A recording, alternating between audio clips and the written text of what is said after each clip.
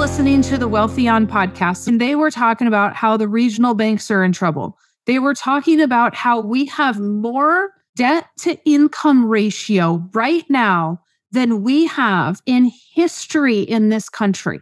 How they are predicting that there is going to be a housing crisis because people aren't going to make their payments. And you might say, well, Mary Jo, why can't they make their payments? It's a 3% loan rate. How can you not make your payment? Well, if we listen to Dave the Dipstick and we do what he says and we go out and get a 15 year mortgage at 3%, our payment is much higher, right?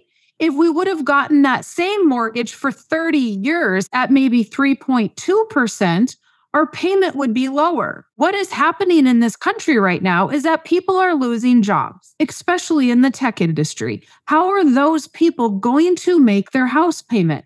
They were told to get a 15 year note. They don't have jobs. And what if they do have a job and they can go refinance that loan? Probably it's going to be 6%, right? Banks are losing money hand over fist with these low interest rates because they have money in investments that are 2 3%.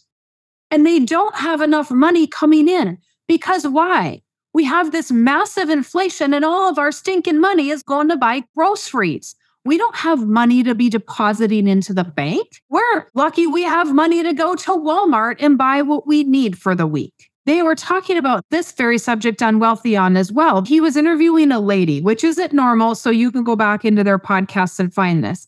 But she was talking about how they have manipulated the numbers to make us believe people are still buying things. They say people are spending more money. It's all good. The economy is fine. Well, the economy is not fine because people are spending more, but they're not buying more items. It's just that the items that they have purchased are costing more. That is a fake look at what is happening in this economy. Now, if you continue to listen to the Wealthion podcast, they are talking about the fact that if rates don't come up higher, even higher than where they're at, we are going to have 10% inflation.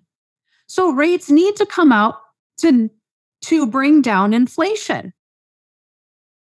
When are they going to peak? When are they going to do this? This bank failure is just the beginning of what happens with low interest rates when we are buying assets at such a low rate. And now that is a devalued asset because everything that we can buy today is higher. It's like buying cows high and selling them low. That is not how you want to do that.